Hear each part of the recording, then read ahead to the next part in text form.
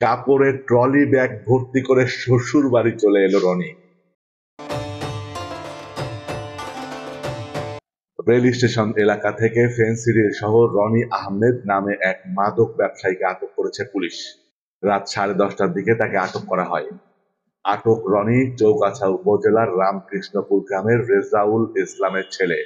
ঝিনাইদহের কালীগঞ্জের পুলিশ জানায়, গোপন সংবাদের ভিত্তিতে রেল স্টেশন এলাকায় অভিযান চালিয়ে চৌগাছা উপজেলার রামকৃষ্ণপুর গ্রামের রনিকে আটক করা হয়। এ সময় তার সাথে ছিল একটি ট্রলি ব্যাগ।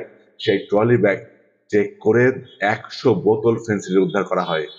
ট্রেনে করে এই ফেন্সিডিল ঢাকায় নিয়ে যাওয়া হচ্ছিল বলে প্রাথমিক জিজ্ঞাসাবাদে জানিয়েছে আটক রনি। তাকে পরবর্তীতে আদালতে প্রেরণ করা হয়েছে। রেল স্টেশন এলাকা থেকে ফেন্সিডির শহর রনি আহমেদ নামে এক মাদক ব্যবসায়ীকে আটক করেছে পুলিশ।